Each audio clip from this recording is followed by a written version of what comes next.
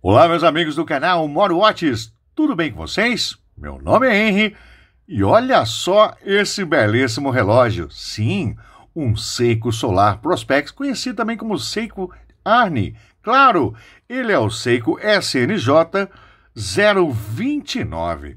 Gente, esse relógio aqui é um revival fantástico. Esse relógio, lá durante o Bezel Awards em 2019, a fabricante, a marca Seiko, apresentou modelos de uma forma um tanto quanto discreta. Queria passar assim por desapercebida. Mas esse destaque dessa vez não passou desapercebido. Foi notado e bem recebido pelos admiradores de relógios da linha Seiko. Claro, não apenas um retorno ao passado, mas um verdadeiro revival promovido pela Seiko, aclamado por críticos, especialistas e entusiastas da marca.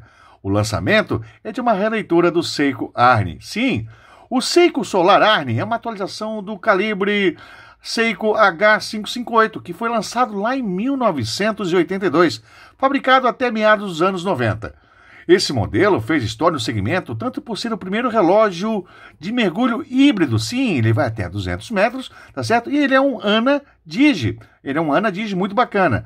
E ele também tinha cronógrafo, alarme tá certo? Quanto por estar presente no pulso de nada mais, nada menos que Arnold Schwarzenegger, durante os filmes que foram feitas algumas filmagens, que ele apareceu alguns momentos em cenas do O Predador.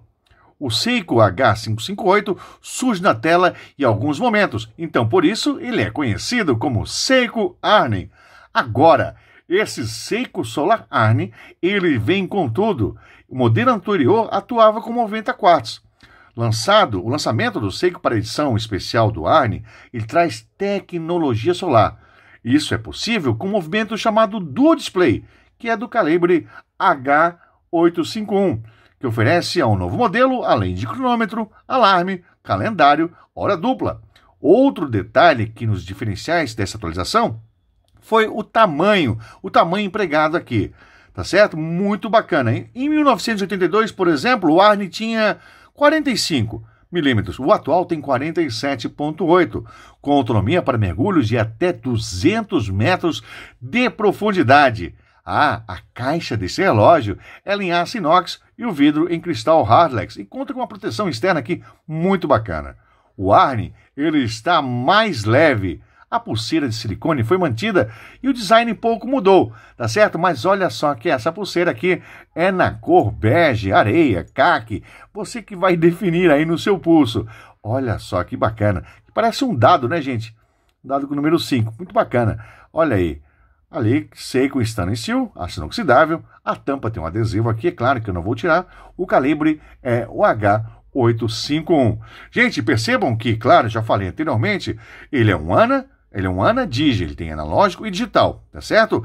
Ele tem também botões e uma coroa aqui que é rosqueável. Os botões também são rosqueáveis. O fundo do relógio também é rosqueável. E detalhe, meus amigos, vou colocar aqui no meu pulso para que você veja como é que ele é.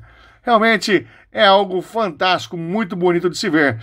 Esse Seiko Arni. Ah, falar nisso, deixa eu te mostrar a luminosidade desse relógio. Olha ele Lume Bright. E detalhe, aqui não falei para vocês ainda, mas esses botões ele tem que ser rosqueados, tá? Como se fosse estivesse fechando, para ele poder funcionar. Tá certo? Então, se eu quiser acionar, ver a luz, olha aí, eu aperto aqui, olha ali, e tenho a hora realmente ali iluminada, com uma bela iluminação em LED branco, não é verdade? Bom, eu falei aqui ainda há pouco, instantes atrás, a respeito dessa coroa aqui, ó, tá vendo? Ó, ó ou seja, tá aqui, ó. O relógio, quando está assim, que não aparece os botões, significa que ele está travado, você não consegue acionar. Nem aqui também. Aqui é uma coroa, tá? Você vai girar. Então, para você fazer o acesso às funções do relógio e também funções como acerto das horas que nós vamos fazer agora, nós precisamos liberar. Detalhe, gente, não falei, a catraca desse modelo aqui, ela é unidirecional, tá? O bisel dele aqui, olha que bacana, tá? Estilo catraca. Olha, você vai colocar em 12 ali certinho. Pronto. Olha, ele tem um rebaixamento aqui, ó para ficar mais fácil você. E aqui uma espécie, uma espécie de proteção. Né? Aqui são as proteções aqui da caixa. Deixa eu colocar aqui para vocês, então. Nós vamos liberar os botões. Então, nós vamos rosquear. Ó. Aqui nós estamos rosqueando, sentido, olha aí, sentido horário, tá vendo? Ó, sentido horário, estamos fazendo assim, ó. Ó, sentido horário. E aqui nós vamos desrosquear, ó. Tá aqui, ó, sentido desrosquear. Beleza. O, quando eu desrosquei essa coroa aqui, ela viu um salto, ela dá um saltinho para fora aqui.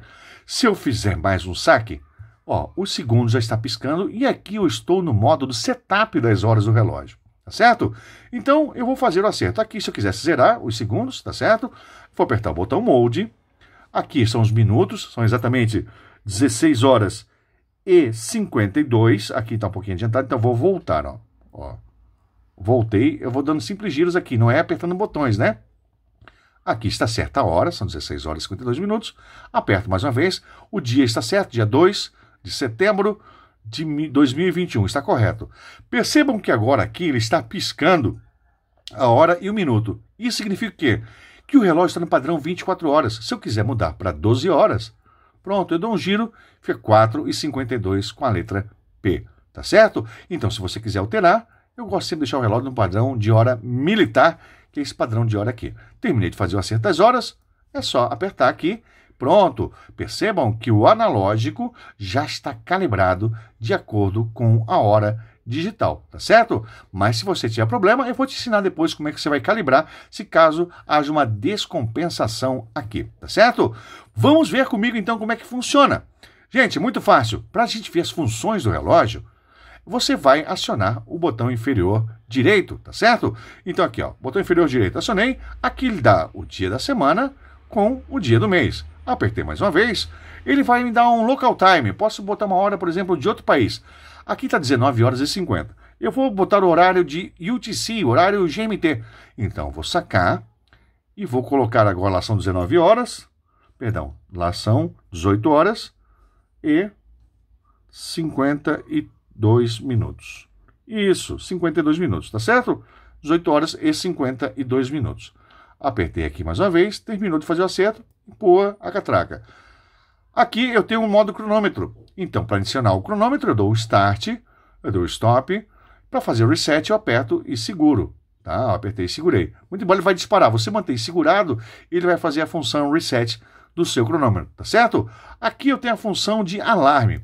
Prestem bem atenção nesse relógio. Esse relógio também tem o alarme e o bip de hora em hora, tá certo? Mas somente na função alarme é que eu vou poder ligar e desligar o alarme do relógio. A função bip ou signal de hora em hora não é aqui que ativa e desativa. Preste bem atenção. Aqui no modo de alarme eu vou puxar para fazer o setup da hora que eu quero colocar. Então vou botar 8 horas, 8 horas da manhã, tá certo? A partir do momento que eu empurrar o botão aqui novamente, o alarme já está ligado. Tá certo? Se eu quiser desligar o alarme, como é que eu faço? Muito fácil.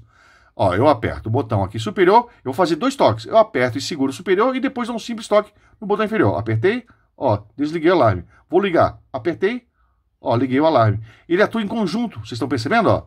Aperta aqui, segura, ó, liguei. Apertei, segurei, desligou. Tá vendo? Ele aciona um, sinalzinho ali visual na parte superior esquerda do display. Com isso, o alarme para as 8 horas da manhã está desligado. Agora eu aperto uma vez o botão aqui e olha só, meus amigos, se eu quiser ativar o botão, oh, perdão, a função signal do relógio, muito simples de novo. Eu faço igual fiz com o alarme. Aperto segundo superior e dou aqui, pronto. Aqui já está ativado ali, gente, ó. Olha, ó, já está ativo ali a sinetinha né, que vai soar o bip de hora em hora para você. Apertei de novo, segurei, pronto. Tá certo? É assim. Ah, Henry, muito bem. E agora, como é que eu faço para ver o nível de bateria do meu Seiko Arne? Muito tranquilo. Você está com o botão liberado? Está podendo funcionar os botões? É só apertar e segurar o botão superior esquerdo. Olha só, apertou, segurou. Olha, segurou, pronto. BET 6. Significa que numa escala de 1 a 10, ele está com 60% de carga. É assim que você vê o nível de carga do seu Seiko Arne. Use-o naturalmente, tá certo? Detalhe, se você quiser é, ver o manual desse relógio, você baixa através do QR Code, tá certo? Você vai pegar o relógio, vai baixar através do QR Code e vai ler, tá certo? Ah, Henry, vamos supor que esse relógio eu deixei guardado muito tempo. Ah, detalhe, gente, quando você guarda o relógio, ele também se desliga, tá? É uma função chamada Power Save, muito comum nos relógios de bateria solar, tá certo? Mas se você quiser calibrar, caso haja uma descompensação da hora analógica em relação à hora digital, presta atenção que eu vou te ensinar. Você vai sacar essa coroa aqui, sacou a coroa, tá certo? E agora você vai apertar e segurar o botão superior esquerdo. Ó, apertou, segurou, vamos lá, Ó, ele foi só para a função chamada set. E percebam que todos os ponteiros estão em 12 horas. Justamente, isso aqui não é 5 sets, significa segundo set, tá certo? Aí eu aperto o botão aqui, vou, aperto não, eu giro aqui a coroa até ele voltar para a pulsão de 12 horas, tá certo? Aí depois que eu acertei os segundos, eu vou para o botão 12 minutos, ó. Minutes set. Ou seja, se tiver fora aqui, não tiver em 12 horas, você vai girar aqui até deixar em 12 horas. Mesma coisa se for com, com ponteiro 10 horas. Toda vez que eu apertei os ponteiros, gente, olha aqui, ó. Ele vai indicando para mim que eu vou. Ó, S, ele deu um giro, tá vendo? Ó? Apertei mais uma vez. O M, ele se mexeu. Aqui ele voltou 5 segundos depois para a posição normal. Se eu apertar mais uma vez, é o botão das horas que se mexeu ali. Terminei de fazer esse acerto, deixei tudo aqui em 12 horas. Muito fácil, você pega seu Seiko Arne, empurra, e com isso está correta a hora analógica em relação à hora digital. Vou usar o relógio, vou molhar, não se importe. Só que antes, não se esqueçam, você vai ter que fechar isso aqui, ó. Travar, ó. Você travou. E esse aqui, você também vai fazer isso aqui, ó. ó. Você vai desrosquear, como se fosse, né? Olha aí, ó.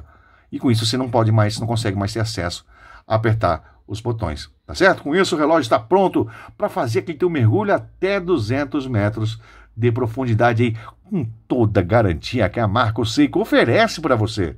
Gente, claro que esse relógio merece, com certeza, o teu like, merece a tua inscrição, a tua pergunta. E é claro, se você precisar de algum auxílio no suporte técnico, vai lá, acessa lá no link da descrição do vídeo e você vai ter acesso lá, primeiramente com o David Moore, você vai ter acesso ao catálogo, outras curiosidades e a última função, suporte técnico, a gente marca uma hora que seja bom para mim, principalmente, e para você, e podemos fazer geralmente após as 8 horas, a gente está sempre às 8 horas da noite, né? Após as 20 horas, a gente está dando suporte para alguém que seja cliente do David. E a gente sempre oferece uma ajuda especial aí também, tá certo? Ah, meus amigos, é claro. Aqui, ó, se inscreva no canal Moro Watts, tá certo? Já aproveita e veja esse vídeo aqui que é muito bacana, tá certo? Eu aconselho você ver esse vídeo.